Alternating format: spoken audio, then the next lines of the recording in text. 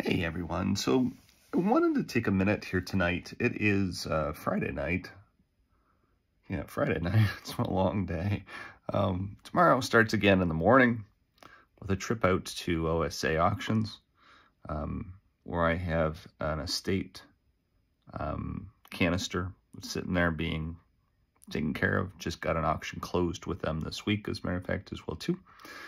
Just another estate being cleaned up. But one of the things I wanted to share with you today was just what's going on here in this desk and what I do for people. Um, so that you have a better in, a better understanding of all of the different things that I can do for you. There's plenty of time in a day. I do really well at keeping everything as organized as I possibly can, especially with my ADHD brain. Um, but I'm very thorough.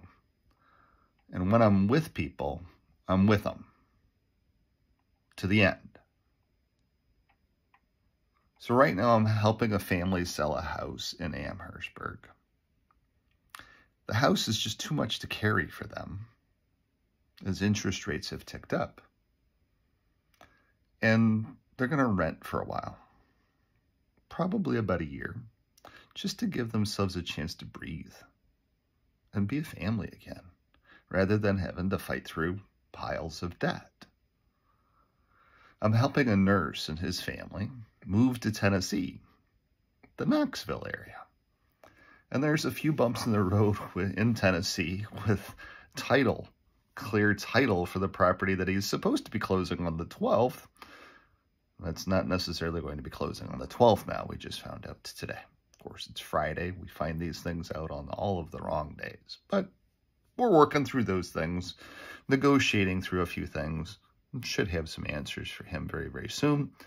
Um, he did get a job offer today um, at the University Medical Center as an ICU nurse in the neurological department. So all the right reasons to be helping him move on with his life and spend the rest of his life in the hills of Knoxville, Tennessee. I'm helping an investor. It's another one interesting one. I'm helping an investor sell a house here in Riverside. Um, he bought the house. Again, one of those people likes to do good things for people. He bought the house to do a rent to own for somebody. Unfortunately, that person moved in and never paid a dime. Um, and that person was finally booted out of the house, and now we're going to be selling that house so that he can just reconsolidate back to Toronto.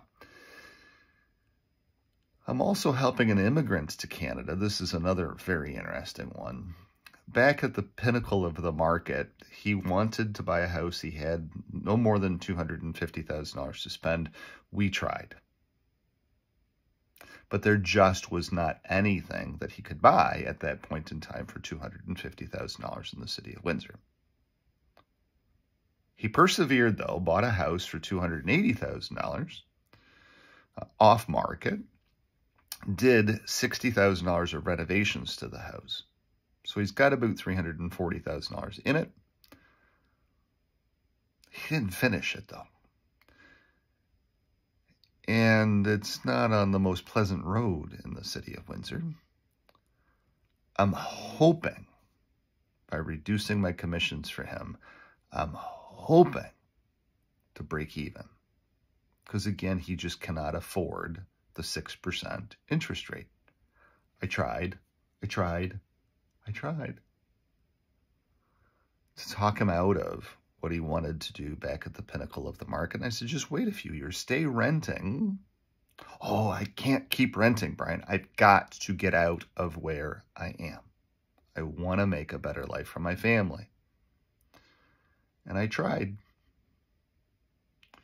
And he called me up and he said, you know, you're the only realtor. You're the only person I've ever ran into that's been brutally honest with me the whole way through. I need to talk to you. Can you come by? It's tough medicine, unfortunately. I'm helping a 92 year old in the process of negotiating out a contract with a 92 year old to be able to sell her house and to be able to shelter because she's in a beautiful place now. Her old house is beautiful too, but to be able to shelter those assets um, from probate and from lawyers. If I win that contract, it's a very substantial contract. Let's put it that way. It would be the largest wealth client I've ever had. I'm helping a couple in Ottawa. I go very, very far with my career path. I'm helping a couple in Ottawa do some life insurance planning as he heads to retirement. Um, he's getting ready to retire in a couple of years, works for the government in one of the prisons, um, is in some kind of psychological department. Um, a lot of things going on with him. Very interesting guy. Been a client of mine for a while, and he wanted to do a little bit more life insurance planning. I'm helping a father and son here in Windsor um, with some life insurance as the son is piling up debt that the dad co-signed for to be able to get through medical school. And What they were concerned with is, hey, what happens if something happens to one or the other of us? How can we make sure that this debt is paid for? It's a life insurance question.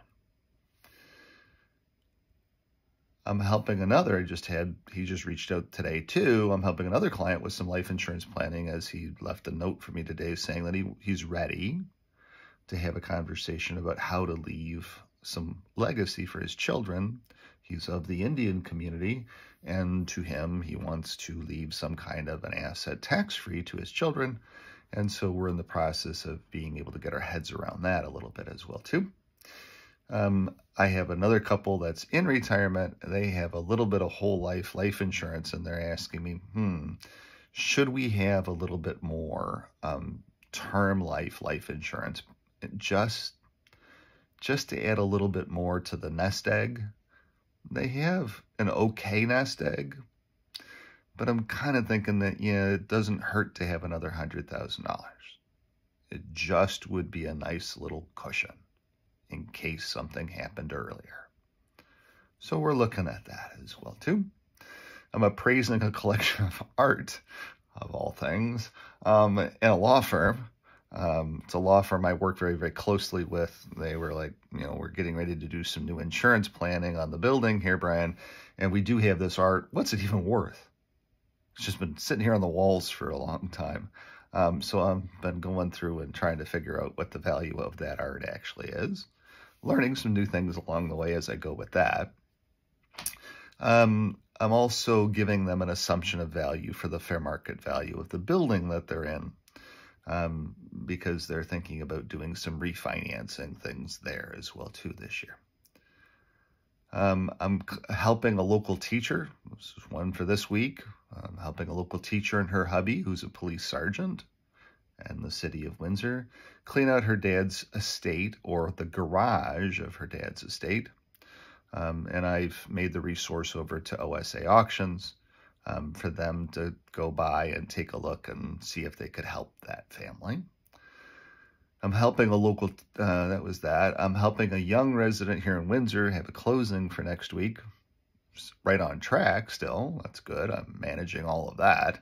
I'm helping a, um, a young resident here in Windsor move uh, from her home that her mom bought her when she started college here and have loaned her some funds for the first and last on her apartment. All we did was I said, sure, I'll go ahead and front you the money for the first and last since I know that I've got the real estate closing coming up.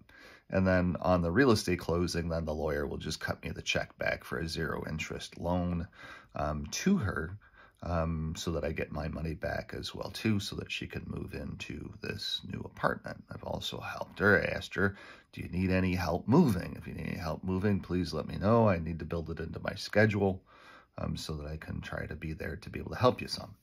Uh, very, very strong, especially with as cold as it is, and my heart valves don't like the cold weather as much, but I can still try to help her as much as I possibly can. Um, the benefit of the sale of her house next week, by the way, too, is that all of those student loan debts will be all paid off. And there's going to be a little bit left over. So it might end up being a car for her. I'm not sure exactly what mom's going to decide to do. And lastly, I'm helping a kind of a friend. a guy by the name of Jerry who lives in Florida. He's a retiree in Florida. Used to sell cars for a living, by the way. I sell a lot of cars. There's a lot of cars up there for sale.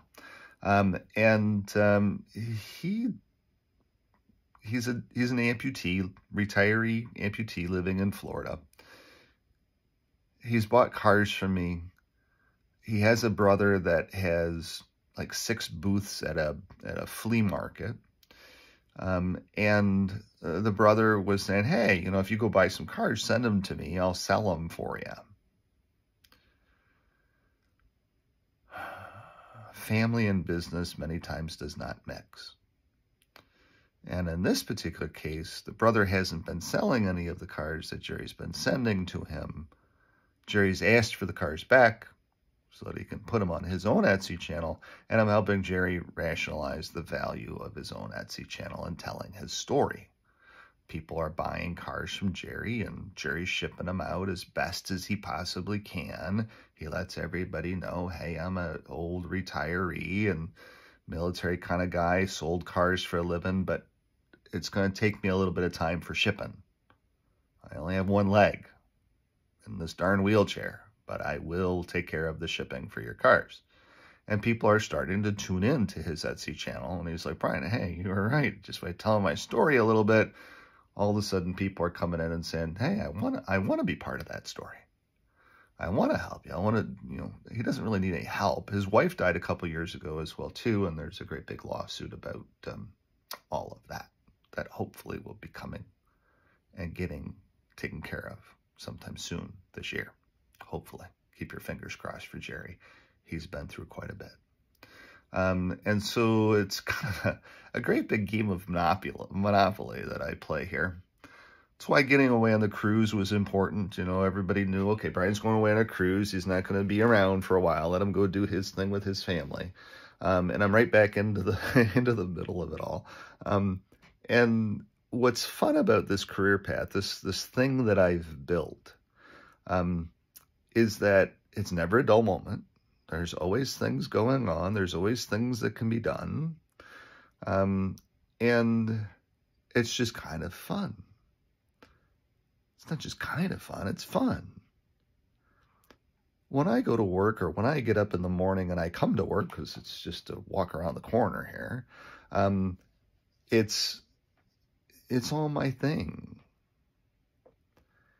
And that's what's really, really valuable to me about it. I can continue to keep doing this as long as I'm healthy and capable of doing it. Um, and it's so widely varied, it keeps my ADHD brain going very, very well. If there's one thing that I kind of suck at, though, just to be honest with you, that I work very hard at trying to get better at, it is paperwork. Just the paperwork. Because I find it very, very boring. I find it very boring. Okay, I got to scan this in and put this in the internet here and put this in the internet there. I just find it very, very boring. Because I'm not really helping anybody when I'm doing paperwork. Just helping paper go on to an internet. Um, maybe at some point in time, I hire somebody to be able to help me to do that. Um, but it's okay. I muddle through. It's like pulling molars for me sometimes, but I muddle through. And so that just gives you an idea of the things that I'm working on in my office here to start the new year. If you have some things that you would like to bring into my office, I do have time. Um, I'm getting some of these things done um, and uh, getting them to a point where they don't need as much care every day. Um, and uh, so if you have a project that you need some help with, um, that you'd like to chat at least with me about, um, don't hesitate to pick up the phone. Give me a jingle, 519-995-6145, 519-995-6145. Trevor, my employee, uh, the great, amazing Trevor, is back. He just got back in tonight at 9.30 um, from his holiday break as well, too he got a nice little Christmas bonus that really surprised the heck out of him. So thank you for helping me to do that for him. Um, and uh, I can't wait to catch up to find out what his trip to California was like um, and kind of share some trip stories. um, should be fun. I've also got a box of stuff down here on the floor um, ready to go for him so that I can put him back to work and, you know, he can be able to start making some money right away again too. That's been a little bit of a challenge because it has been a little bit crazy busy. Um, but by doing a little bit every day, then there's a box of stuff for him to be able to get started on uh, when he's ready. So probably Sunday I'll drop that off and next week I'll start working on that again. Um, and classes, of course, start for him next week too. He might be the one that helps me with the paperwork side of the equation. There is another thing coming up here on my YouTube channel here, um, in that I have a YouTube specialist that um, he and I chatted before the holidays, um, and we're going to be chatting here next week um, to look at ways uh, to be able to possibly bring him on board um, to be able to rationalize out this Etsy channel and to maybe move things around a little bit. There's a couple of things that are launching. Trevor's going to be helping me launch Bing Bliss and Turner. That's coming very, very soon. Very soon. Um, there's currently five houses for sale on Bing Bliss and Turner. Um, and uh, the program I'm developing out will be targeting Bing Bliss and Turner very, very hard. Um, and the goal is to capture about 10% of that market. Um, that sells every year. So more on that coming later. Um, but uh, those really are the biggest things that I really need to get accomplished for this year. Um, the rest of it is all pretty much just doing this, helping people. Um, hey, Brian, can you help me with? Of course. It's what I do. It's how I get paid. Um, that's how money piles up in my bank account as well, too is just reaching out and helping people. But that gives you some kind of an idea of the things I do every single day as I'm in the new year. Um, when I go to work every single day tomorrow, tomorrow I got to be in Amherstburg. Um, and then I got to be out at OSA auctions all the way out in Lakeshore, basically, all the way out in Lakeshore the, beyond the Belle River. I'll probably take Luigi to do that tomorrow, depending upon what the weather is like. Um, he hasn't been driven in a while, so we'll get him out and get his battery charged back up since he's been sitting for about a week and a half now. Um, as long as he starts, he should start okay. Um, if not, then, of course, um, Wilbur can go ahead and jumpstart him too. So it's all good. Um, and so thanks for following along, understanding a little bit if I can help you in any way. 519 995 6145 519 995 6145. Have a great night. Bye bye.